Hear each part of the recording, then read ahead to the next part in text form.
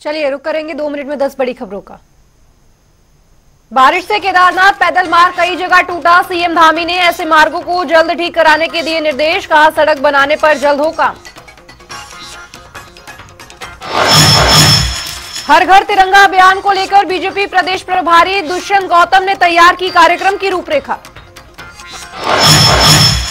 उत्तराखंड में भारी बारिश की चेतावनी, चमोली और बागेश्वर को लेकर ऑरेंज अलर्ट जारी, अन्य जिलों तेज बारिश का येलो अलर्ट जारी, सभी लोगों को सतर्क रहने की अपील।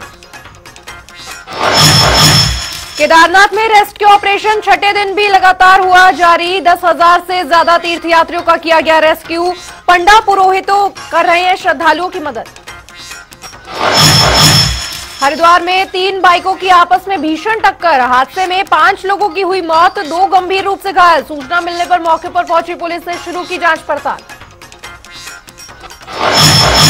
हल्द्वानी में नहर में मिला बच्चे का शव। पाँच दिन बाद एसडीआरएफ और एनडीआरएफ की टीम ने किया बरामद। एसडीएम हल्द्वानी ने दी जानकारी। मसूरी में शराब की दुकान के लाइसेंस का किया गया निरस्त। एसडीएम ने की कार्रवाई। दुकान को लेकर लगातार आ रही थी शिकायतें।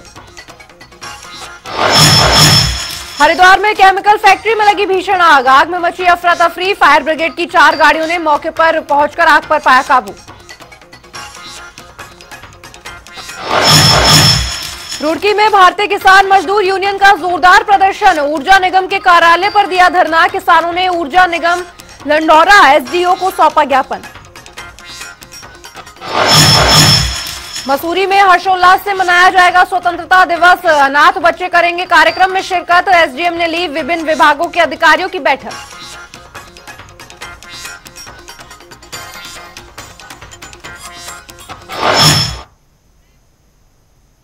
और चलिए, बढ़ेंगे खबरों की ओर, जहाँ मुख्यमंत्री पुष्कर सिंह धामी ने जनपद रुद्रप्रयाग के आपदा से प्रभावित क्षेत्रों का हवाई निरीक्षण किया।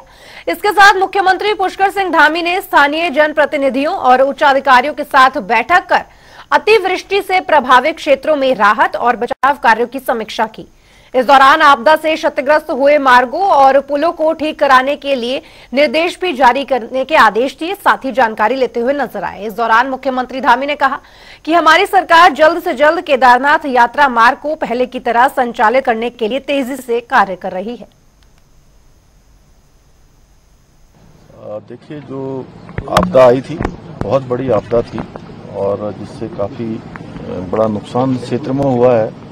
लगभग 29 स्थानों पर छोटे बड़े स्थानों को लगा दिया जाए तो 29 जगह पर सड़क मार्ग आ, कट हुआ है और भूस्खलन की चपेट में आया है।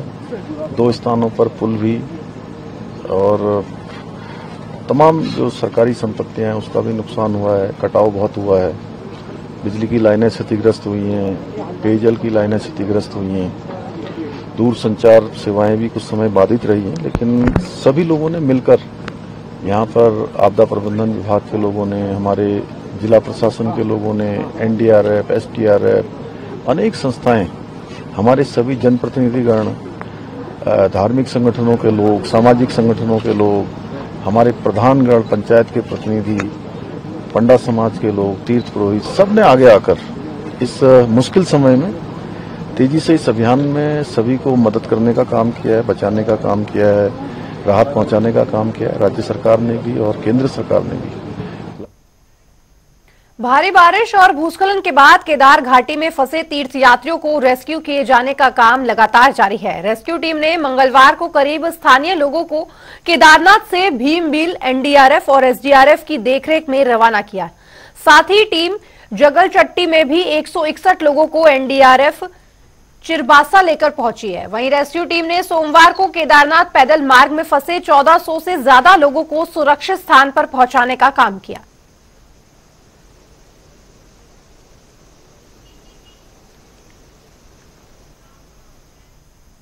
तो उधर केदारनाथ आपदा को लेकर पूर्व मुख्यमंत्री हरीश रावत ने गहरा दुख जताया है और बयान देते हुए कहा कि पीड़ितों को ज़्यादा मुआवजे के लिए सीएम को आगे आना चाहिए और आगे आने उन्होंने क्या कुछ कहा ये सुनिए। मातमपुरशी के लिए गया था और बहुत दुखद वो है और ऊपर वाले ने बहुत सारे लोगों को बचा दिया। पीड़ित परिवारों की तो मदद हुई है, लेकिन मकान टूटने का जो कंपनसेशन है वो कम है।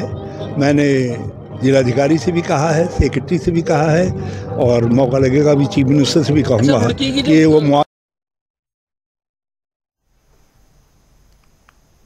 तो वहीं प्रदेश में मानसून की स्थिति लगातार गहराई हुई है। पहाड़ों से लेकर मैदानी इलाकों तक भारी बारिश का असर दिख रहा है। प्रदेश के चमोली और बागेश्वर ज़िले के कुछ इलाकों में भारी से भारी बारिश का ऑरेंज अलर्ट जारी किया गया है।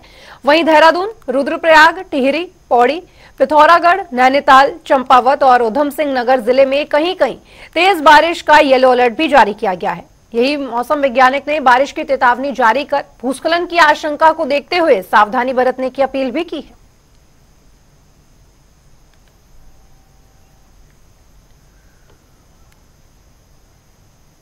उधर कमिश्नर कुमाऊं ने तीन पानी, मोटू हल्दू और गौरपाड़व में एनएच और जल भराव वाले इलाकों का निरीक्षण किया। आम जनता की शिकायत थी कि एनएच के बनते की वजह से जल भराव हो रहा है और जल की निकासी कई जगहों से नहीं हो पा रही है। कुमाऊं कमिश्नर ने सिंचाई और एनएचएम के कर्मचारियों को ग्राउंड रिपोर्ट मांगी और कहा कि ड्रेनेज प्लांट सिंचाई विभाग तैयार करे, जिससे पानी की निकासी कहीं दूर बाहर की जा सके। इंस्पेक्शन किया, माननीय विधायक जी ने भी कुछ क्षेत्र यहाँ पे दिखाए हैं, वो काफ़ी दिनों से दिखवाना चाह रहे थे। तो एक तो जो आरोबी बन रहा है, एनएच का, उसमें ये इशू है कि आरोबी बनने से अब क्योंकि बहुत सारा पानी एक जगह पे आ रहा है, जिससे लोगों ने बताया कि वो जल की निकासी नहीं हो पा रही। तो उसमें दो तीन स्ट्रैटेजी पे हम काम कर रहे हैं। एक तो जल निगम से हम कहेंगे कि वहाँ पे जहाँ जहाँ सम्प्स बनाने की अगर अवेलेबिलिटी है, अब बनाने की पॉसिबिलिटी यहाँ पे है तो वहाँ पे सम्प्स बना के इस पानी को हम निकाल दें। दूसरा हम ये देखेंगे कि उस पानी को जो जमा हो रहा है, दूर कहीं निकाला जा सकता है नहीं? इसके लिए एक सर्वे हम इरीगेशन से करवा देंगे और यहाँ पे एक छोटा सा ड्रेनेज प्लांट भी बना देंगे ताकि इवेंचुअली ये पानी कहीं पे निकले। तो वहीं मुख्यमंत्री पुष्कर सिंह धामी ने पत्रकार कल्याण कोष की राशि को पाँच करोड़ से बढ़ाकर दस करोड़ करने की घोषणा की। रिंग रोड स्थित सूचना भवन में मुख्यमंत्री ने एक मैराथन बैठक की, जिसमें सीएम धामी ने सूचना विभाग के कई प्रभागों का निरीक्षण किया। पत्रकारों के लिए ग्रुप इंश्योरेंस लागू करने के संबंध में उन्होंने विभाग को परीक्षण करने के निर्देश भी दिए हैं। साथ ही उन्होंने सोशल मीडिया, यानी फेसबुक, यूट्यूब, ट्विटर आदि को इन पैनल के लिए भी योजना बनाई जाने की बात कही। इस दौरान मुख्यमंत्री ने कई और भी घोषणाएँ की। सूचना विभाग के सरकार की जो जन कल्याणकारी नीतियाँ हैं, जन उपयोगी नीतियाँ हैं और जन जन के कल्याण के लिए जो सरकार काम करती है, उनके लाभ के लिए, उनके, उनकी सहायता के लिए, वो गाँव गाँव तक पहुँचे घर घर तक पहुँचे एक एक जन जन तक पहुँचे। इस निमित्त आज, अपना विभाग की आज यहाँ पर समीक्षा हुई है और बहुत सारे बिंदुओं पर निर्णय भी लिए गए हैं, आगे की कार्य योजना भी बनाई गई है। तहसील स्तर तक के जो पत्रकार हैं, उनके पत्रकारों की मान्यता प्रदान करने की अलग से व्यवस्था बनाई जाएगी। और साथ में जो पत्रकार कल्याण कोष है, पत्रकार कल्याण कोष को पाँच करोड़ से बढ़ाकर दस करोड़ किया जाएगा। इसका भी जो है आज निर्णय किया है। साथ ही जो पत्रकारों का हमारा कोटा है, वो कोटा भी बढ़ाया जाएगा। इसके साथ ही हमने अपने पत्रकार भाइयों के लिए जो ग्रुप इंश्योरेंस योजना लागू करने के लिए भी विभाग को परीक्षा देखिए, सूचना विभाग की बहुत विस्तृत समीक्षा माननीय मुख्यमंत्री द्वारा की गई है और उसमें दोनों पक्षों पर बात हुई है। पत्रकार कल्याण के लिए हम लोग क्या कर सकते हैं और विभाग के समक्ष क्या क्या दिक्कतें हैं क्या क्या परेशानियाँ हैं, क्या चुनौतियाँ हैं और उनको कैसे दूर करना है। विभागीय ढांचे को लेकर के भी चर्चा हुई कि हम लोग क्या प्रस्तावित कर रहे हैं। तो पुनरीक्षित करेंगे विभागीय ढांचा भी, जहाँ तक पत्रकार कल्याण की बात है।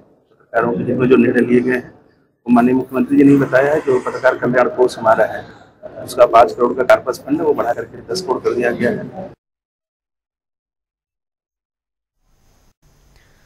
तो वहीं भारत के पड़ोसी देश, श्रीलंका के बाद बांग्लादेश में भी तख्ता पलट हो गया है। तख्ता पलट के बाद बांग्लादेश में हिंसक विरोध प्रदर्शनों का दौर शुरू हो गया है। इस बीच प्रधानमंत्री शेख हसीना ने पद से इस्तीफा दे दिया है। शेख हसीना बांग्लादेश छोड़कर भारत पहुँच गई हैं। बांग्लादेश में हुए घटनाक्रम पर भारत की भी नज़र है। बांग्लादेश में हुए तख्ता पलट पर राजनीतिक दलों की प्रतिक्रिया सामने आ रही हैं। वहीं कांग्रेस नेता हरीश रावत ने कहा यह बहुत दुर्भाग्यपूर्ण है कि हमारे पड़ोसी देश बांग्लादेश में राजनीतिक अस्थिरता है। चुनी हुई सरकार ने इस्तीफा दे दिया है, और क्या कुछ कहा ये सुनिए।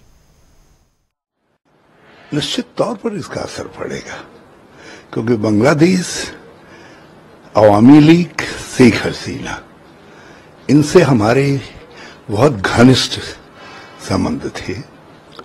और बांग्लादेश भारत की भावना का प्रतीक है। और वहाँ यदि किसी तरीके की भी हिंसा होती है और इस तरीके की घटनाएँ होती हैं तो वो हमारे चिंता का विषय है। हमारे पड़ोस में पाकिस्तान में जो कुछ हो रहा है या अफ़गानिस्तान में जो कुछ हो रहा है, उसका परिणाम हमको भुगतना पड़ा है। अब इसी तरीके की स्थितियाँ मालदीप में, श्रीलंका में पैदा हुई। श्रीलंका में तो और चिंताजनक स्थिति पैदा हुई। तो उन, इन देशों में स्थिरता भारत की पहली प्राथमिकता है। बांग्लादेश में भी स्थिरता हमारी पहली प्राथमिकता है। हम उम्मीद करते हैं कि जैसा सेना प्रमुख ने कहा है कि एक अंतरिम सरकार गठित की जाए। तो उधर रुड़की की झबरेड़ा नगर पंचायत एक बार फिर चर्चाओं में है। बता दें, नगर पंचायत के पूर्व चेयरमैन और पूर्व राज्य मंत्री गौरव चौधरी ने प्रधानमंत्री आवास योजना में बड़े पैमाने पर गड़बड़ झाले का आरोप लगाया है। साथ ही नगर पंचायत के ईओ का घेराव किया। उन्होंने आरोप लगाया कि प्रधानमंत्री आवास योजना में आवास पात्र लोगों को ना देकर कुछ खास और बड़े लोगों को दिए जा रहे हैं, जिसे किसे भी बर्दाश्त नहीं किया जाएगा।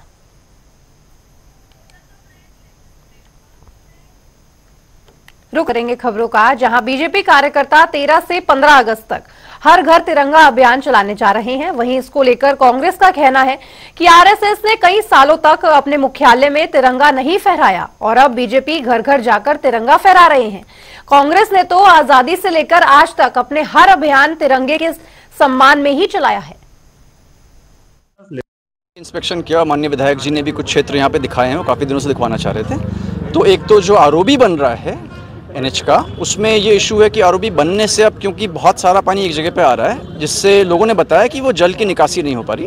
तो उसमें दो तीन स्ट्रैटेजी पे हम काम कर रहे हैं। एक तो जल निगम से हम कहेंगे कि वहाँ पे जहाँ जहाँ सम... तो उधर देहरादून के शीशमबाड़ी कूड़ा प्लांट में कूड़े के निस्तारण को दोगुना करने की तैयारी में नगर निगम जुट गया है। माना जा रहा है कि अगले महीने से शीशमबाड़ा प्लांट की क्षमता को बढ़ा दिया जाएगा, जिसका नगर निगम ने लेआउट तैयार कर दिया है। इस बात को लेकर नगर आयुक्त गौरव कुमार ने कहा कि वर्तमान में देहरादून में कूड़े के निस्तारण क्षमता लगभग 450 टन है और शीशम बाड़ा प्लांट की क्षमता लगभग 250 टन है। प्रति शिफ्ट है, जिसे देखते हुए दो शिफ्टों में कूड़े का निस्तारण किया जाता है। देखिए, अभी हमारे शहर की वर्तमान जो कूड़े की जनरेशन है, वो 450 टन है और हमारा जो प्लांट की कैपेसिटी है वो 250 टन पर शिफ्ट की है तो हम अभी दो शिफ्ट में प्लांट को ऑपरेट करते हैं पूरे कूड़े को प्रोसेस करने के लिए। इसमें माननीय एनजीटी के द्वारा निर्देश दिए गए थे कि प्लांट की कैपेसिटी को इंक्रीज़ किया जाए, बढ़ाया जाए। तत्क्रम में हमारे द्वारा प्लांट में एक ट्रॉमेल मशीन बैलिस्टिक सेपरेटर तथा श्रेडर मशीन के लिए सास्की में प्रोजेक्ट तैयार किया गया। जिस पर शासन से अनुमति मिली और उसमें टेंडर लग चुका है, उसका लेआउट फाइनल किया जा चुका है। इस माह अंत तक मशीनरी इंस्टॉलेशन होने की संभावना है। तो वहीं हरिद्वार ज़िले में लक्सर पुरकाजी हाईवे पर दो बाइकों की आमने सामने की जोरदार टक्कर हो गई। इस दौरान एक अन्य बाइक भी उनकी चपेट में आ गई। हादसे में बच्ची समेत पाँच लोगों की मौत हो गई है। चपेट में आई तीसरी बाइक पर सवार युवक को भी चुटे आई हैं। सूचना मिलने पर पुलिस मौके पर पहुँची, जहाँ उन्होंने शवों को कब्जे में लेकर पोस्टमार्टम के लिए भेज दिया है। और सभी घायलों को इलाज के लिए अस्पताल में भी भर्ती करवा दिया गया है। कल शाम को गनौरी लक्सर खानपुर रोड पर मोटरसाइकिलों का एक्सीडेंट होने और उसमें कुछ लोगों के गंभीर रूप से घायल होने की सूचना 112 के माध्यम से कोतवाली लक्सर को प्राप्त हुई थी। इस सूचना पर घायल गुरजंट को पप्पू नर्सिंग होम ले जाया गया था और अभिराज को अभिनवी साल नर्सिंग होम के लिए रेफर किया गया था। गुरजंट की मृत्यु हो गई थी उस घटना में और बाद में अभिराज के बारे में भी मृत्यु होने की सूचना प्राप्त हुई थी। तीन अन्य घायलों को उपचार के लिए मुजफ्फरनगर ले जाया गया था, जिसमें से आज सूचना प्राप्त हुई है कि जीसान, उसकी पत्नी सबनूर और एक बच्ची जिसका नाम इसल है, उनकी भी मृत्यु हो गई। तो वहीं रुड़की में आरटीओ के अधिकारी किसानों के ट्रैक्टरों के चालान काट रहे हैं तो वहीं किसानों को बेवजह परेशान कर रहे हैं। इसको लेकर रुड़की के किसान यूनियन तोमर के नेताओं ने आरटीओ कार्यालय पर धरना दिया, जहाँ किसान यूनियन तोमर की ओर से किसानों की सभी समस्याओं को लेकर आरटीओ मैडम को ज्ञापन सौंपा गया है, जिसको लेकर आरटीओ मैडम 10 दिनों का आश्वासन दिया गया है। देखो धरने का मामला ऐसा है ये भारतीय किसान यूनियन तोमर अगर हम किसी को फ़ोन भी करते हैं देकर कोई हमारा फ़ोन उठाने के लिए तैयार नहीं है। जैसे सिंगल टैरी होगी कोई अपने घर के लिए किसान माल लेगा जा रहा है उसका चालीस पैंतालीस हज़ार का चलान। सारा का सारा प्रशासन जो फ़िलहाल यहाँ आर टी ऑफ़िस में भ्रष्ट हो रहा बहुत उगई करी जा रही है यहाँ पे। कोई सुनने के लिए किसी की बात तैयार नहीं है। दिया मैडम ने अगर दस दिन के अंदर अंदर सिचुएशन नहीं निकलती तो हटको फिर धरने पर हो। किसानों ने अपनी कुछ समस्याएँ ज्ञापन के रूप में हमारे सामने प्रस्तुत की हैं। जो भी उनकी समस्याएँ हैं, उनका बिंदुवार निस्तारण किया जाएगा। और यदि कुछ प्रॉब्लम पाई जाती है तो उसके खिलाफ कार्रवाई की जाएगी। तो उधर उधम सिंह नगर में तहसील दिवस का आयोजन किया गया, जिसकी अध्यक्षता एसडीएम रविंद्र सिंह बिष्ट ने की। इस अवसर पर तहसीलदार सहित कई विभागों के अधिकारी और कर्मचारी भी मौजूद रहे। कई समस्याओं को लेकर दर्जनों फरियादियों ने अपनी समस्याएँ रखी। वहीं समस्याओं के निस्तारण के लिए एसडीएम ने संबंधित विभाग के अधिकारियों को आवश्यक दिशा निर्देश भी दिए। वहीं एसडीएम रविंद्र सिंह बिष्ट ने बताया कि विभिन्न समस्याओं को लेकर दर्जनों फरियादों ने अपनी अपनी समस्याओं को दर्ज कराया है, जिसमें अधिकांश समस्याओं का मौके पर निस्तारण किया गया है, तथा शेष समस्याओं के निस्तारण हेतु संबंधित अधिकारियों को जाँच कर आवश्यक कार्य करने के लिए निर्देश दिया गया है।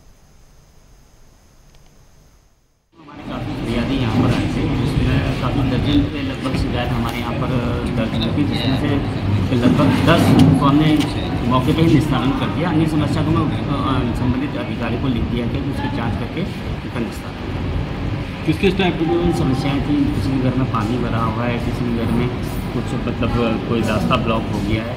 ऐसी कई अन्य समस्याएँ थी जिसको लेकर फरियादी यहाँ पर आए थे। कईयों के हमने मौके में ही निस्तारण कर दिया और अन्य किसी को हमने संबंधित अधिकारियों को, विभागीय अधिकारी को लिख दिया है कि इसको जाँच करके इसकी निस्तारण फ़िलहाल वक्त एक ब्रेक का, लेकिन ब्रेक के उस पार भी खबरों का सिलसिला जनता टीवी पर लगातार जारी है। नमस्कार।